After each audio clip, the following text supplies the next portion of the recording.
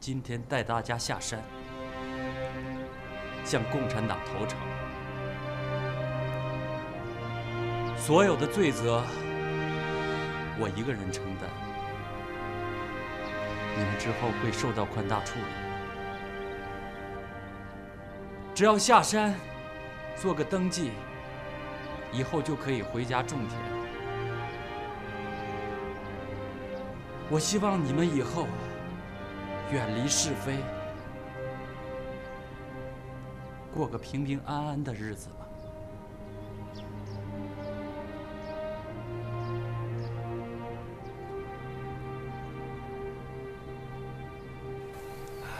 这个文沙场历来都是匪患严重的地区。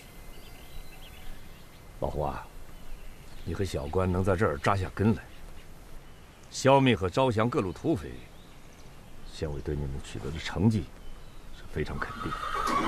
感谢县委的信任和支持。小关，据我了解，擎天树在关坡一战已经被捕，是你放了他，让他缴械投诚，有这事吗？有。小关啊，你是个年轻干部，尤其是你和秦家这种历史关系，在处理擎天树的问题上，不得不说，我还为你担心。我个人对你的工作方式，是既理解也信任。但是组织上最忌讳的，就是在工作中掺杂个人情感。这一点你要有思想准备，万一出了什么纰漏，功过是不能相抵的。你要想清楚。县长同志，以我对秦天树的了解，我相信他一定会来投诚的。如果三天之后，秦天树没有来投诚，我个人愿负全部责任。小关，我要你思考的是，这种处理工作的方式对不对？有没有感情用事？符合不符合组织原则？懂吗？懂。啊，县长，我们已经做了两手准备。如果秦天柱不来投诚，我们就抓捕他。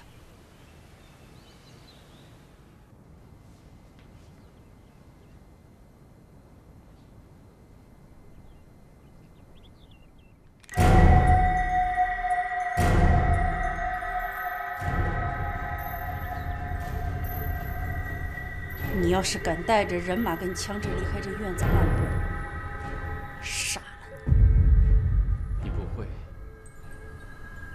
你做不到。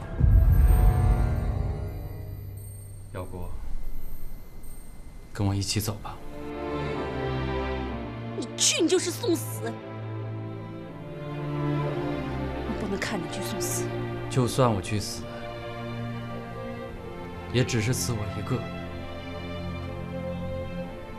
是。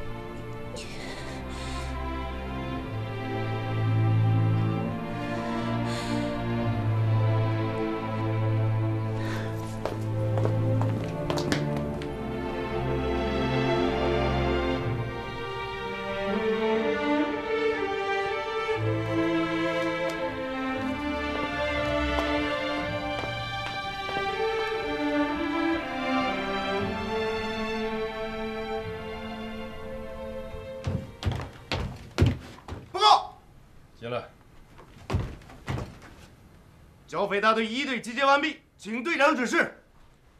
原地待命，随时准备出发。是。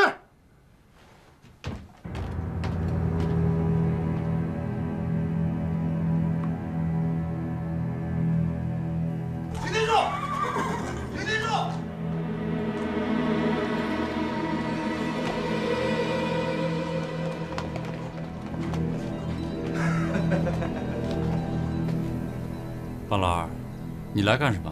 你今天给我棒老二个面子。我们星斗山的伯爷说了，想借你的家丁和长枪用几天。范老二，实在对不住，这每个人做事都有自己的安排和计划。你也看到了，我的族人和家丁都在外头呢，他们都有了自己的出路。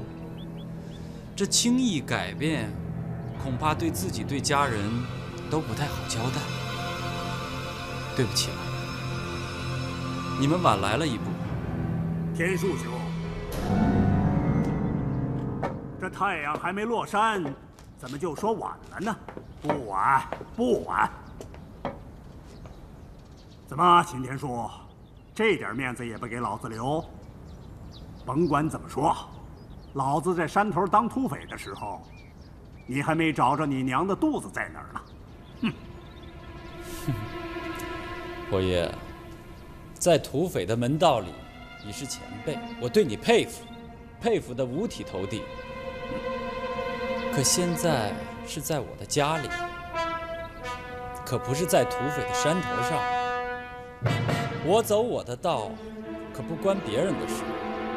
这老话说“人各有志”，你嚼你的糠，我吃我的醋。我还望前辈不要在别人的家里去干涉别人的事情。后生聪明，你还说对了。我这个嚼糠的，就是要管你这个吃醋的事儿。我就是要去交枪投诚，这关你的事吗？老子管不了，也不是老子管的事儿。老子就是要借你的人枪一用，用完了，改日连锅子带灶头一起还给你。侯爷，这可不是你说的这么简单的事。几天前，这儿还有个蒋团长的队伍，今天这山头除了你我，就没有同道了。那妖姑姑娘说到底，她有自己的地盘，袍哥道门有自己的独门势力。老子把话摆这儿，老子就是被共产党灭了，也要拉上个垫背的。你小子，秦天树，老子早就看准了。以前老子打几仗败几仗，就是败在了你和那个死鬼婆娘手里。今天你想走，你走得了？老子倒要看看你怎么下这座山。霍爷，你别逼我。你有的枪和人，我也有。我现在不想跟你交火。侯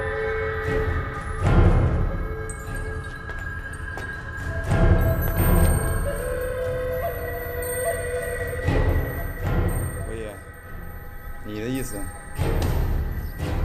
抢！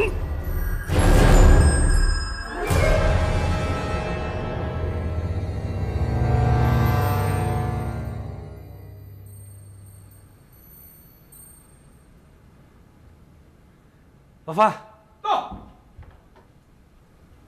麻烦你再跑一趟，看看什么情况。好的，我马上就去。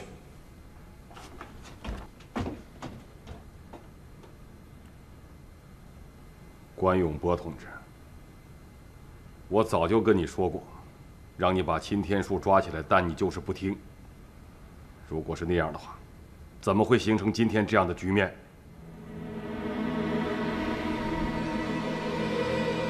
你就不想一想，秦天说他要是真想投诚，他早就来了，他怎么会等到他老婆和姐姐死了以后他才来呢？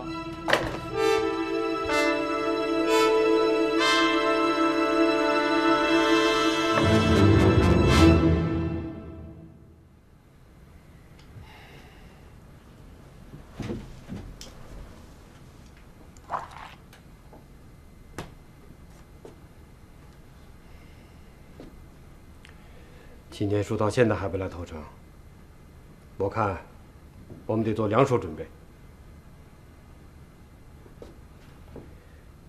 关云波，秦天书如果不来投诚，你要做检讨，深刻的检讨。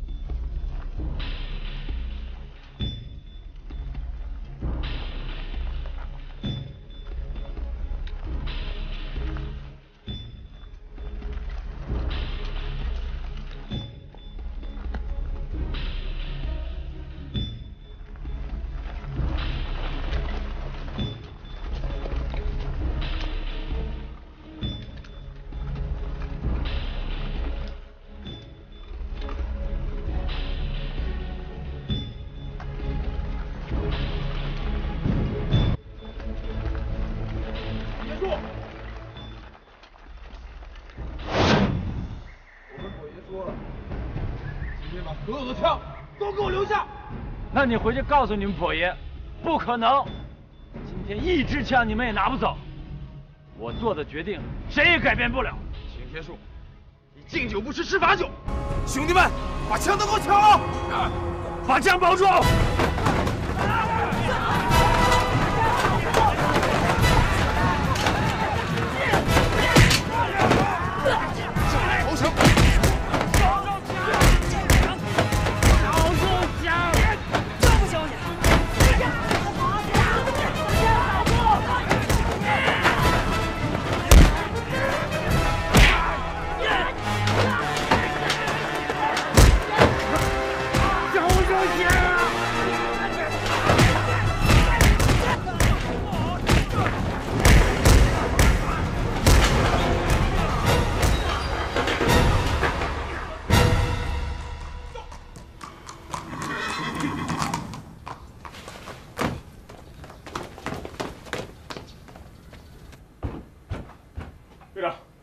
秦天树来了没有？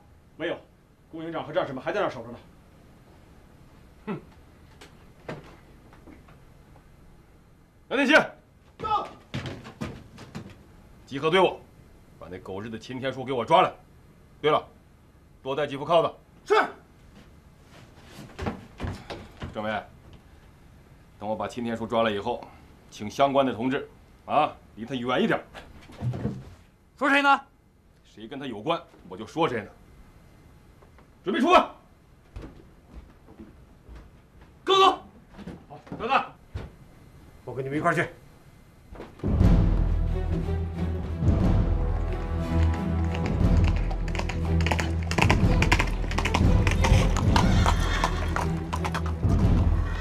部队停止前进！关永波，你要干什么？太阳还没有下山呢。我说再等等。你跟我说过，三天以后的晌午就是现在。他来投诚，这太阳都快落山了，他还不来？那太阳这不还没落山呢吗？没落山就叫没过晌午。关永波，你这是在姑息养奸，是在给土匪头头秦天树留活路。我告诉你，这种行为是错误的，我们不会听你的命令。关永波，我们是执行任务，不是开玩笑，不是小孩打闹。我说再等等，政委同志，秦天树来投诚，和我们去抓他，这就是生和死两种意义。太阳没下山，就再等等。队长，秦天树到现在还不来投诚，我们就是应该把他抓捕归案。杨天奇，闭上你的嘴！你不说话，没人把你当哑巴。关永波，不要感情用事，我提醒你，要注意自己。部队继续前进。不许前进！关永波，你想干什么？如果太阳下山之前，我们没有见到千千树，我亲手杀他，行不行？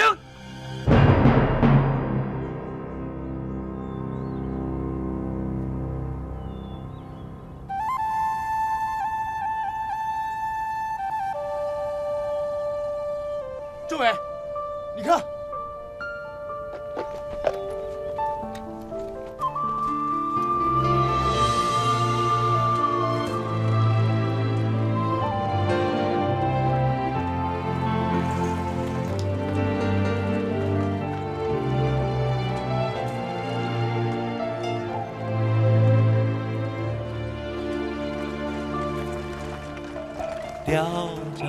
上一枚月亮，心里暖得像个火塘。千难万险不该衷肠，英雄何妨一身苍茫。手背的痛，血比酒，恋爱比恨浓。感谢命运狭路相逢，出生入死才见弟兄。阿婉，阿婉，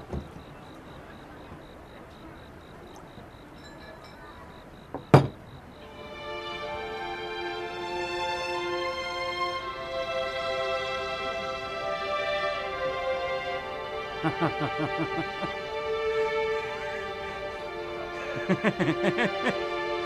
哎，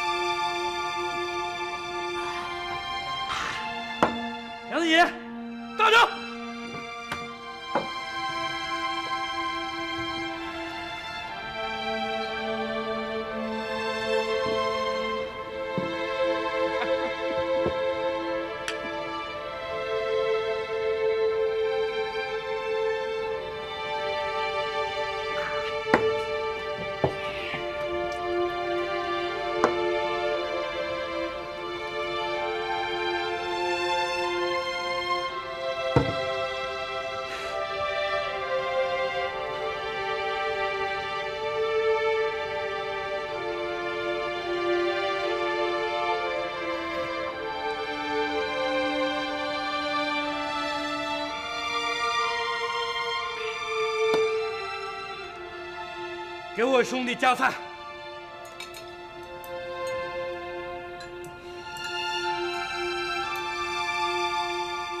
挑菜啊！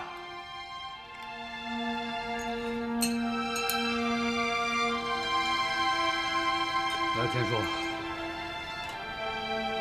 咱哥俩喝一个。哥，借你的酒我敬你。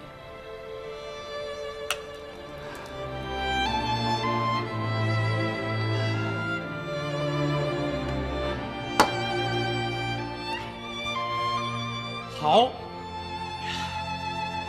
你敬我，你给足了哥这个面子。我兄弟给不给我面子？三百条枪，一条枪不落；三百个人，一个人不缺，过来投诚。这是我兄弟。你是我兄弟，我告诉你们啊，我兄弟回来了。你们谁要敢看不上我兄弟，给我兄弟白眼儿，就是他娘的臭老子！接着说，哥有面子。哥在文沙城有世俗的面子，你是我兄弟。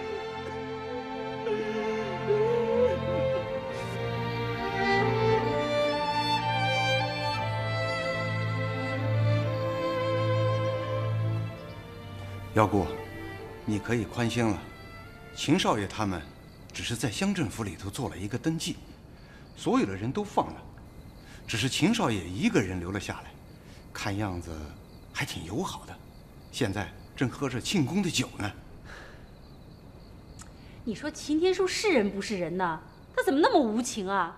就不能让人送个信儿报个平安？我这还怕他被共产党给杀了呢。这倒好，没心没肺跟人喝酒去了，这叫什么事儿啊？你看我做了这么多菜，我还等着他活着回来给他接风呢。不行。我得找他去。要姑，我看这样不妥。这共产党是为他设的庆功酒，我劝你呀，不要去老场子。什么叫不妥啊？我又不是去闹。要姑，要姑，姚姑，你可千万别动枪开火的，早点回来啊！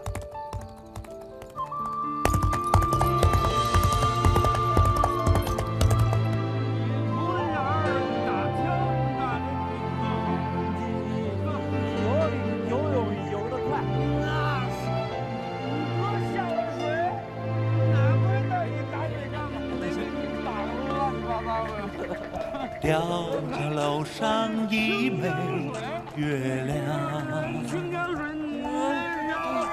心里暖得像个火塘。你你们跟着我干什么？我我我回回来！我和我兄弟在江边这儿凉了，你不能这么过了。嗯，咱家的清江水呀，哪儿都没有这儿的水好喝，没有这儿的你脸红了，红了。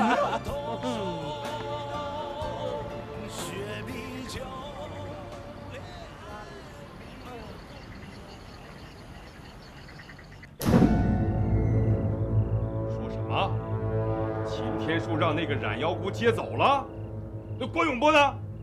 关关队长当时喝多了，他睡着了。那你们是干什么吃的？我告诉你，如果明天擎天柱反水，干出什么其他的事情来，你们吃不了兜着走。尤其是那个关永波。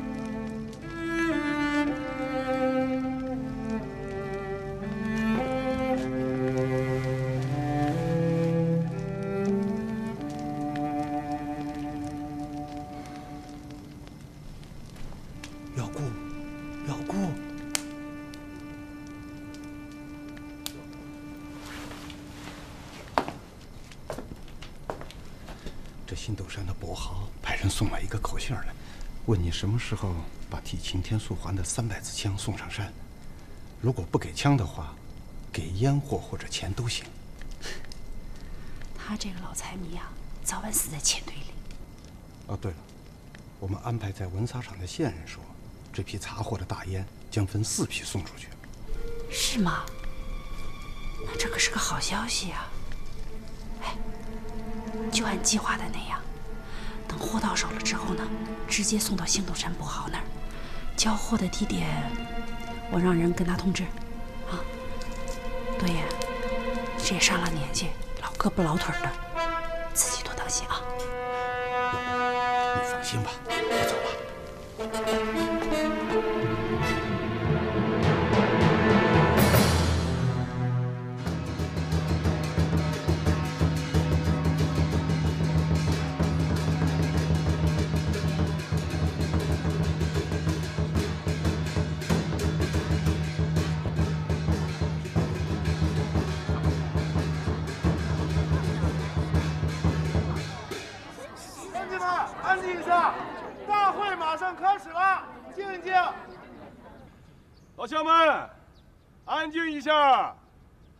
现在我宣布，中共黎川县文沙厂乡政府清匪除霸动员大会现在开始。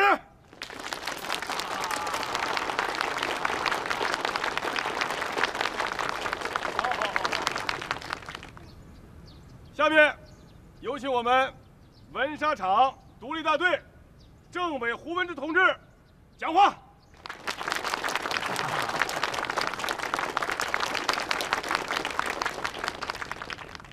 乡亲们，我们受中共黎川县委、黎川县人民政府的命令，来开展除恶反霸斗争。文沙场乡，人民政权已经基本建立，解放也快一年多了。地主阶级已经被彻底打倒，广大的人民群众已经翻身解放，分到了胜利的果实。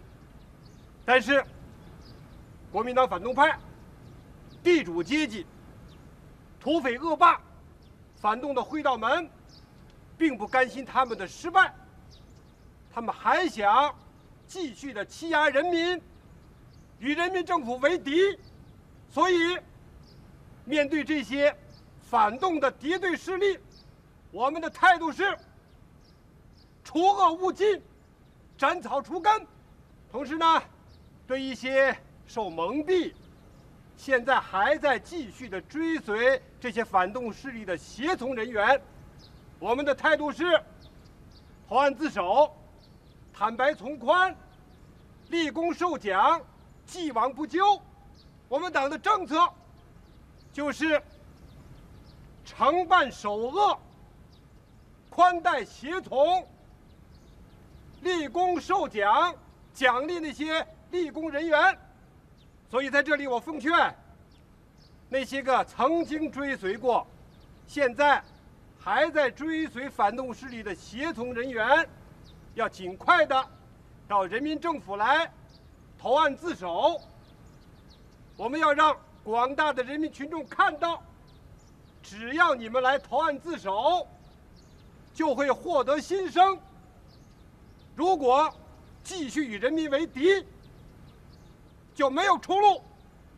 所以，请大家回去以后，跟你们的亲戚朋友要传达一下我们这个意思，告诉那些人们，不要怕曾经犯过错误，不要怕曾经跟土匪拜过把子、上过山、抢过老百姓。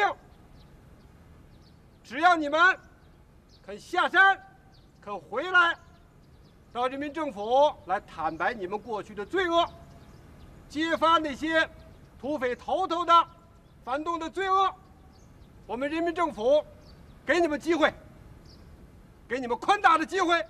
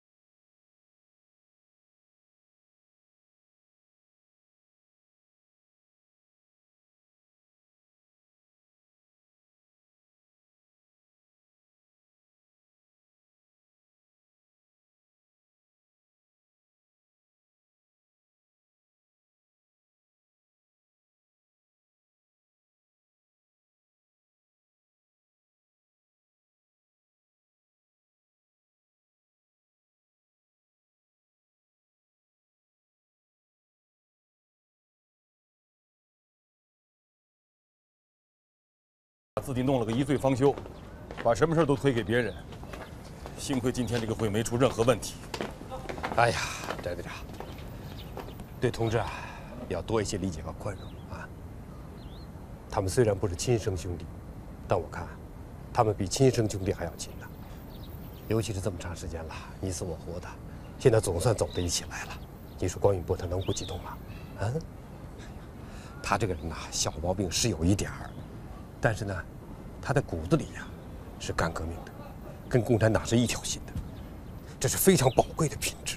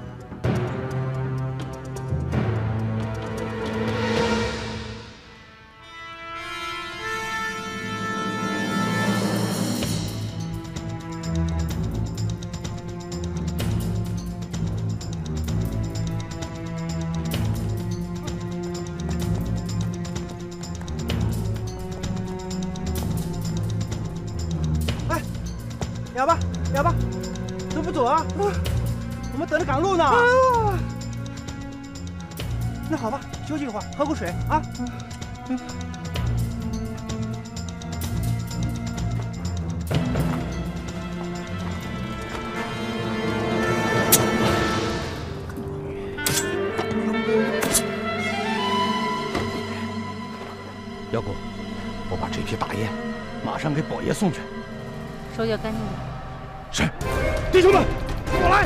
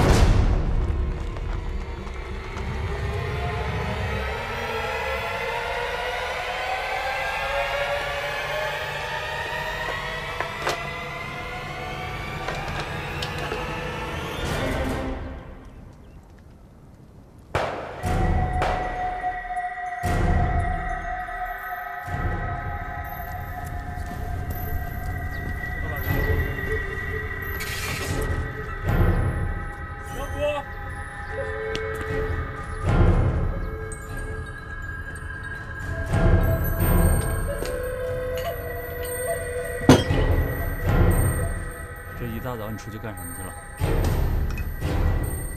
出去转转。我听到枪声了，你到底干什么去了？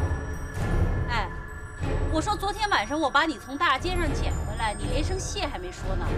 这大早上起来就问我去哪儿了，好歹我也算是个舵把子，我去哪儿跟你请示啊？好，我管不了你，我走。哎，你真真是的，说走就走啊？那你说，那枪声跟共产党有关系吗？共产党要押运收缴的大烟土进县城，我借了一车货，怎么了？什么？你去拦截共产党的大烟车？我这还不都是为了你？你要投诚，我好想趁你起了你那三百条枪。我要不是另外给他一些好处，他能让你活着去文沙场？妖谷，你糊涂啊！你为什么还要去拦共产党的大烟车？大少爷，现在大家日子过得都很艰难，哪有多余的钱去打点他？我不接共产党的，我接谁的？我早就应该明白，这些土匪恶霸就应该杀。说什么呢？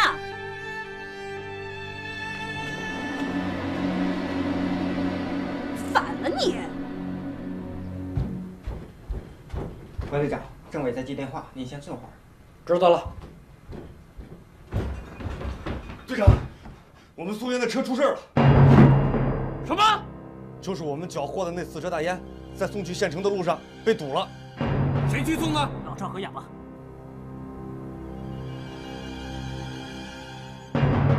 给我叫回来！是。后边的弟兄们跟紧点，打人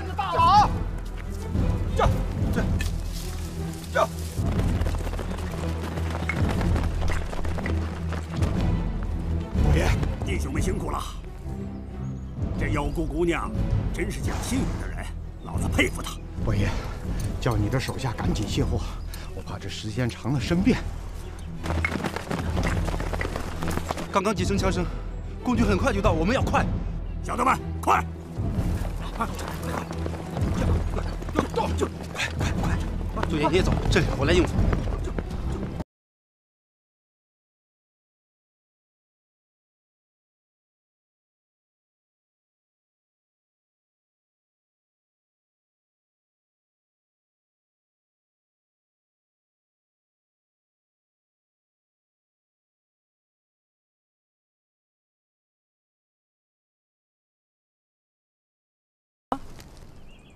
哑巴，那匹马呢？啊啊！连天喜，带着队伍追。是，过来，快，快点，快快！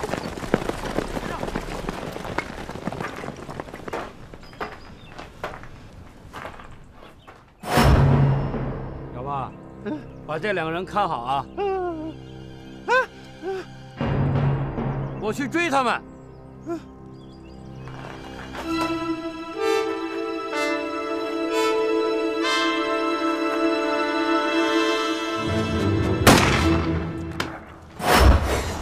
别开！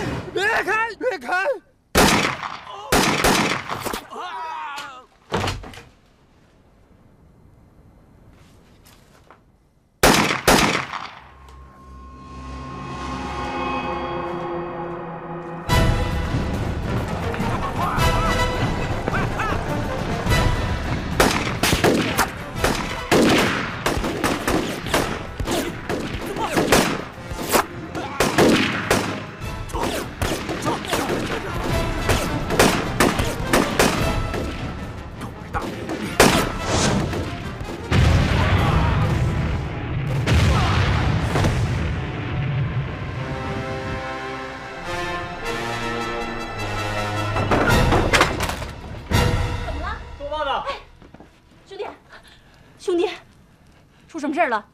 共产党追了上来，多爷呢？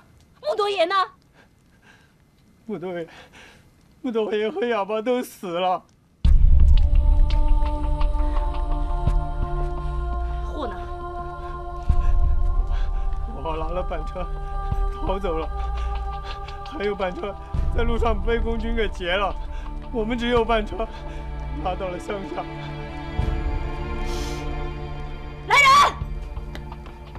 多宝子，把穆多爷和哑巴厚葬。是。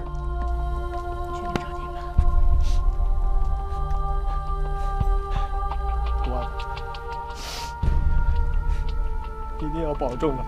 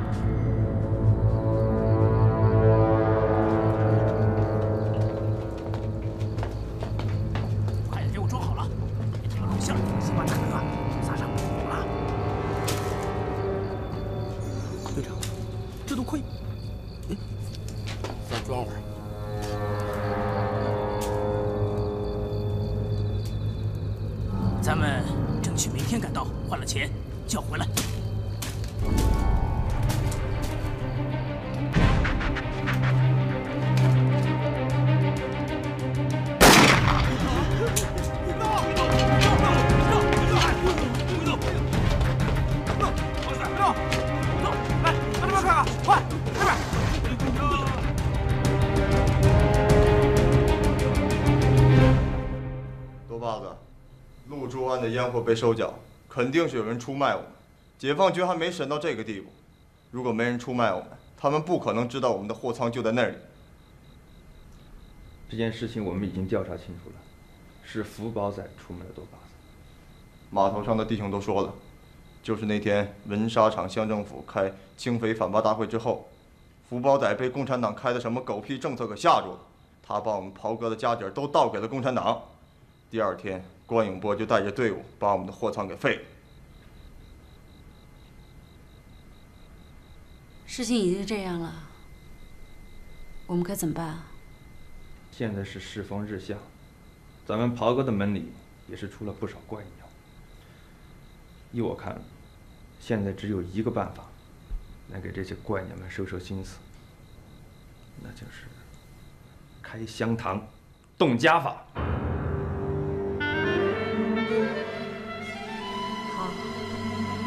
挑个日子开香堂，把祖宗的牌位都请出来，由你们红旗小五来过堂。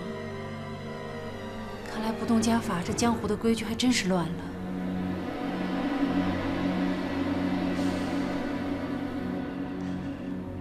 实话实说，从表面上看，我们确实是打了不少的胜仗，消灭了蒋团长，成功的劝降了彭秀才和秦天树。但是那个跛豪和妖姑，至今没有归案。留下这两股势力，那对我们文沙厂的剿匪工作，那是后患无穷。所以我的意思啊，既然秦天树已经投诚了，不如我们干脆一鼓作气，把那个染妖谷也抓了。那么这样的话，其他的喽啰群龙无首，那自然也就散了。我不同意抓冉耀谷，至少在抓他之前，还可以继续劝降他。